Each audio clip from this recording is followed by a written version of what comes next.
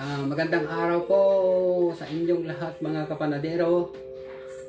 Ang atin pong gagawin ngayon ay isang request ng isang kaibigan at team leader ng Canada. Walang iba po kundi si Ma'am Lucy Lianda. Ang gagawin ko pong ito ay isa pong challenge para sa atin sapagkat first time ko pong gagawin ito. Ito po ay tatawagin po natin Royal Pie. Papakita ko po sa inyo lahat ng mga sangkap. Ito. Ito po yung ang ating gagawing crush ng ating Royal Pie. Una po itong 3-4 kilo o 750 grams na third class. Ang susunod ay ito pong 150 grams na sugar.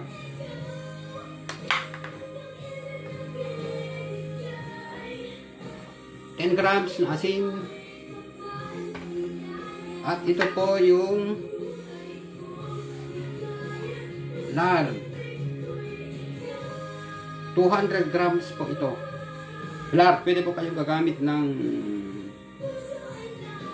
uh, butter. At para naman po sa ating gagawin feeling niya, ito po yung siyam na itlog. Ito po yung 450 grams na sugar. Ito po isa't kalahating evap. At saka isang kutsarang vanilla. Isang kutsarang food color na orange. At siyempre, hindi nawawala ang ating royal.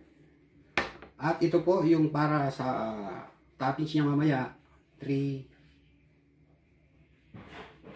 o tatlong egg white.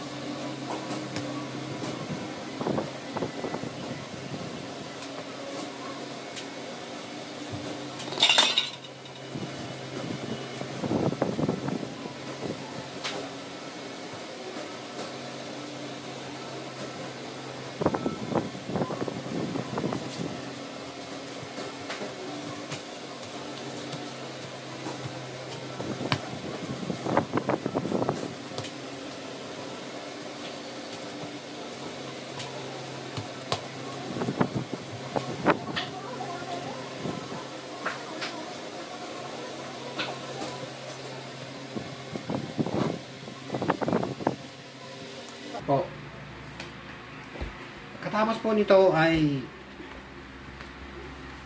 i-rest po mun- muna natin siya ng mga 10 minutes.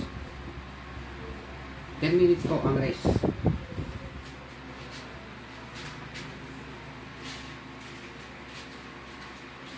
Hindi po natin siyang takpan ng pan. Pwede po yan. Huwag lang po siyang mahangin.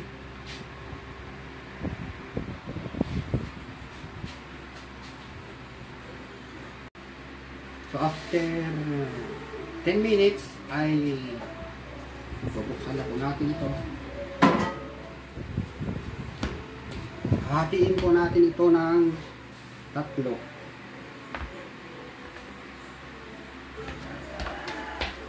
Tatlo po. Yan.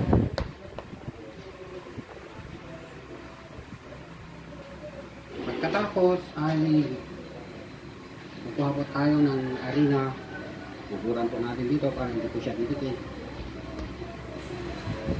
At kuha na rin po tayo ng linting.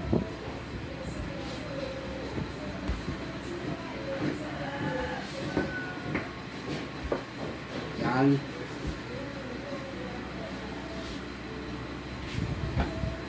Dapat po ay pabilog.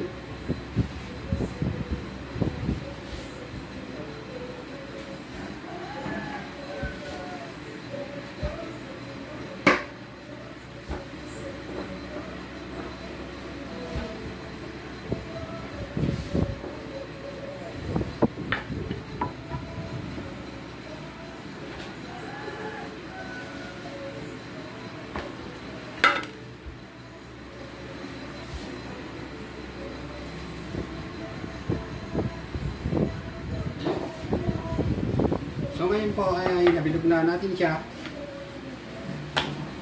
Ilagay na po natin sa isang pan. Dapat po papahiran po natin dito para hindi didikit. Pahiran ng butter o kaya lard. Ito gaan, hindi- ipinahid ko po yung margarine. So, ganito po gagawin natin. Ayan po. Ayan. Pagkatapos po, ay ayusin na po natin. Iwasan po natin may hangin. Kung halimbawa po may nakita po kayong nakabukol dyan, hangin po yun. Kailangan po tanggalin po natin. Kasi pagka may nag bumukol po dito, ibig sabihin may hangin, kaya may posibilidad po na uubok po yung ating egg pie.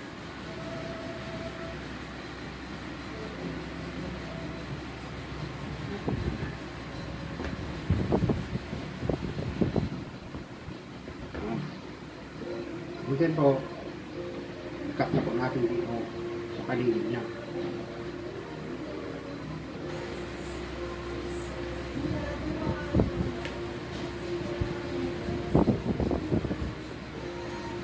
Po. Ngayon, depende po kung anong gusto yung dekorasyon po ng kanyang crust. Pwede pong ganito na lang. Pero ang gagawin po natin ay pisil-pisilin po natin. Dahan-dahan lang po, hindi po masyadong madiin. Katulad po ng pagpisil natin sa pisngi ng ating. Yan. Katapos, ay ito, ganito po ang pagpisil. Pwede rin po baliktad. Pwede, ganyan po. Yan, yan. Yan.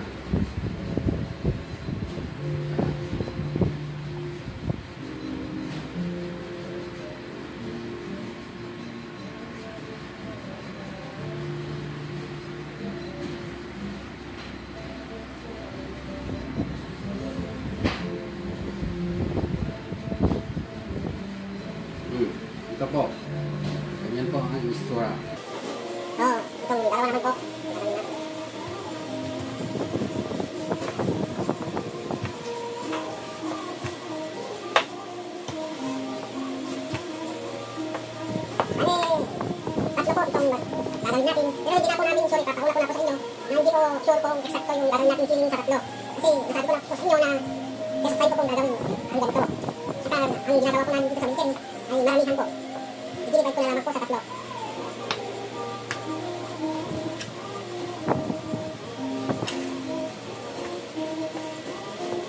Usual, ang gagawin natin.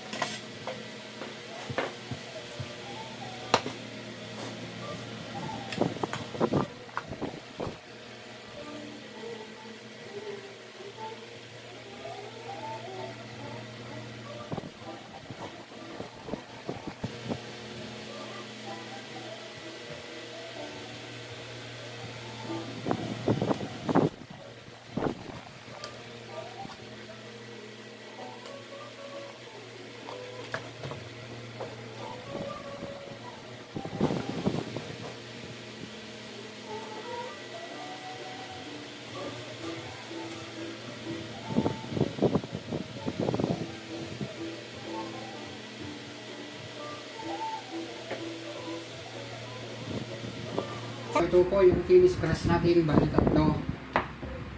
Yan. Tatlo po siya. Pagkatapos po nito ay ang isusunod po natin ay yung feeling po niya. Taboy, taboy.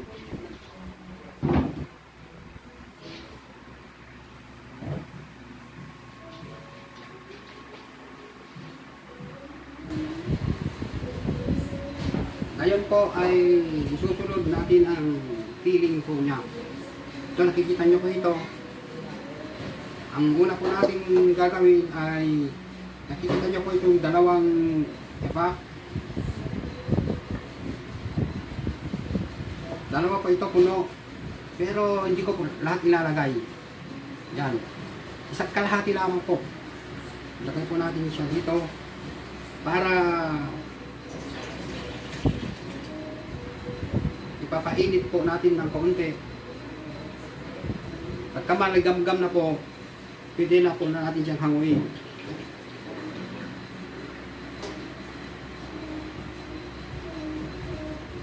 Ayan, kalahating libak po. Ay, sa kalahating latang libak.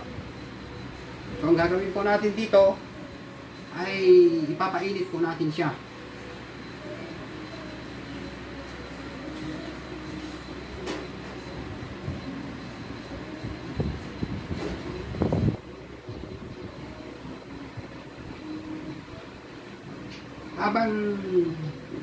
Pinapainit po natin ang ating evap titimplahin na po natin itong iba ingredients. Ito po ay asukan 450 grams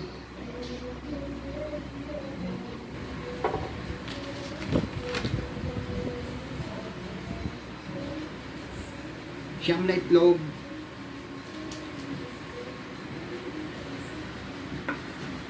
Itong vanilla isang sara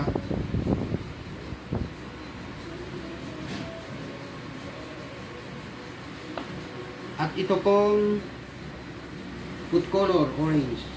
Isang kutsara din po. At ang ating main ingredient royal kalahating lata lamang po ng lata ng evap. Bale, 185 ml.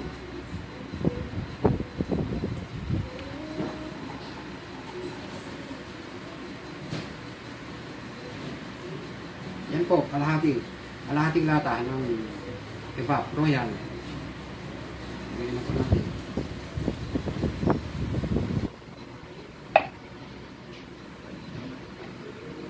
Pagkatapos po ay i-mix na po natin siya. So, Mix.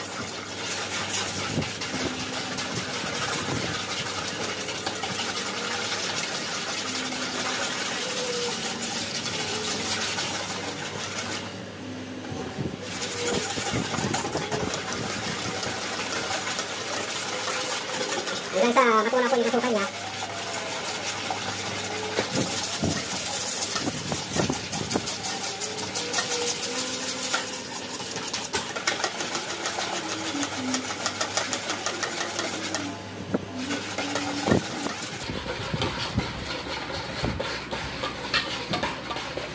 yan.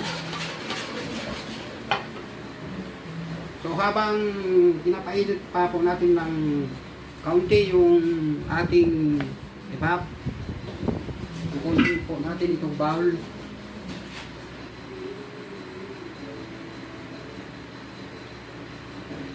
At saka ilalagay po itong tatlong egg white. Mimix po natin siya.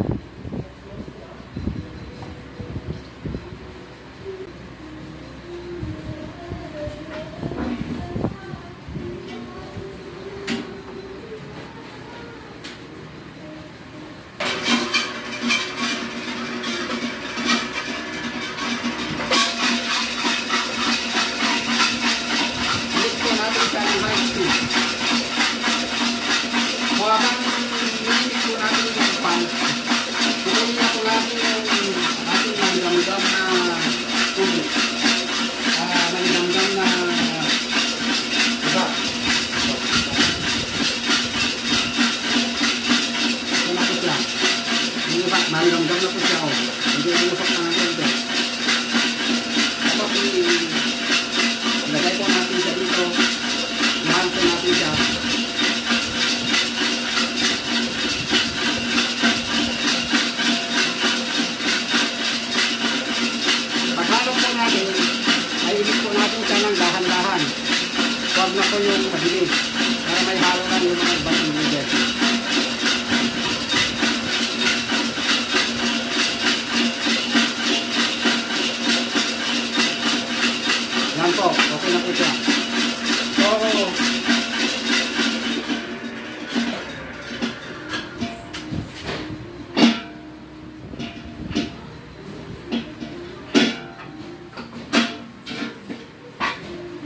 Na po yung na-mix natin tatlong egg white.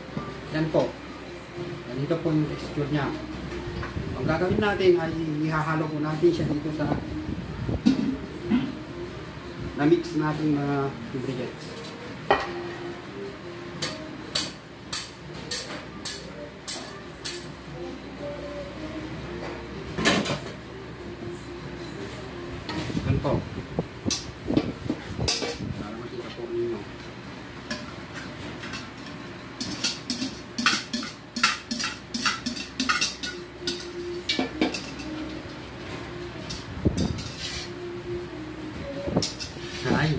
啊。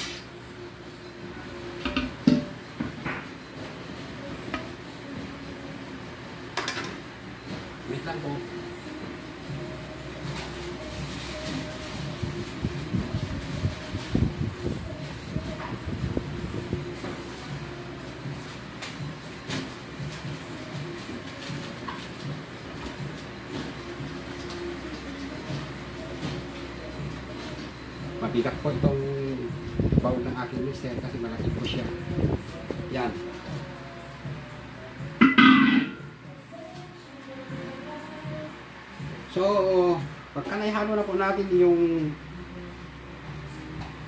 na-mix po natin egg white, aluin po natin siya ng dahan-dahan lamang po.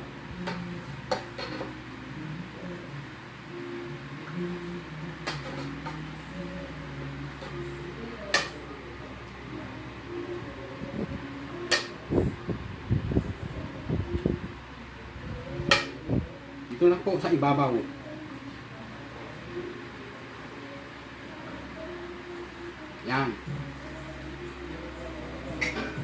Kung napapansin nyo po, nakalutang po yung egg white.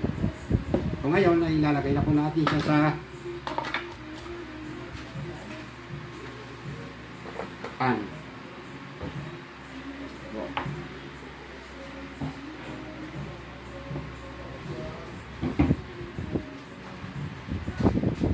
So, So, ibububog na po natin. Pag pong bibiglain na pupunuin.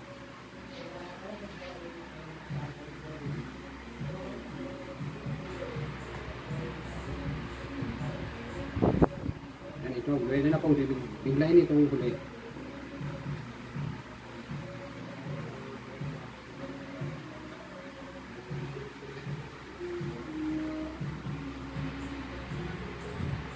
Yan, tamang ta, eksakto po yung tatlo. Yung tatlong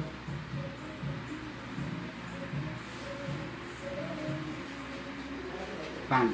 Sakto po siya. So, nakita niyo naman po, saktong puno. So, ngayon, ang gagawin natin ay isasalang na po natin sa taorin. Kita niyo po naka-plastic pa po itong isang gamit ng oven ko. Bago ko pa lang po siya.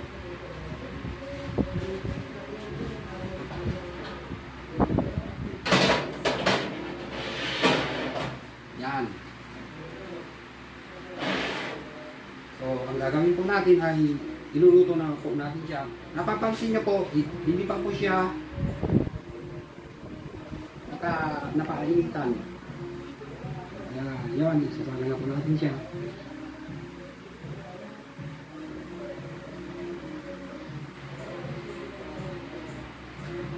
Dahil dalawa lamang po ang kasya dito sa oven, ay ang gagawin ko po ay ilalagay ko po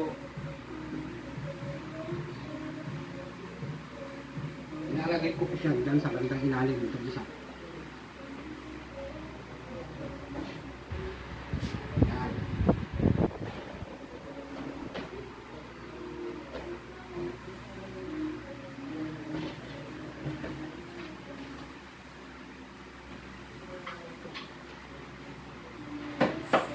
So, ngayon po, isasaksak na po natin itong oil.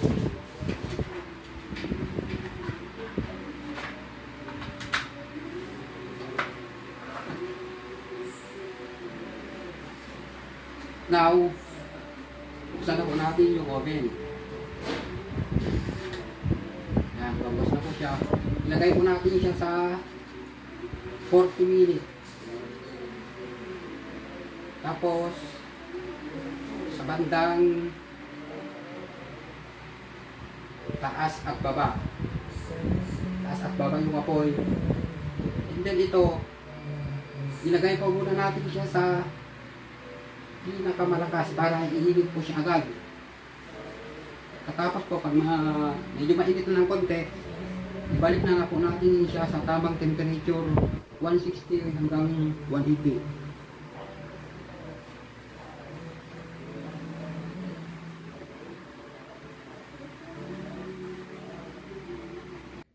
Pagkalipas po ng isang kalahating oras, ay check na po natin kung luto na po ang ating royal egg pie.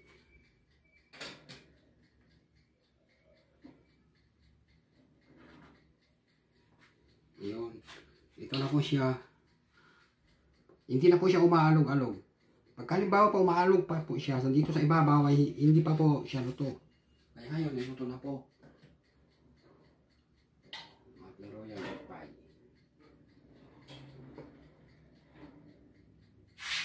Yun.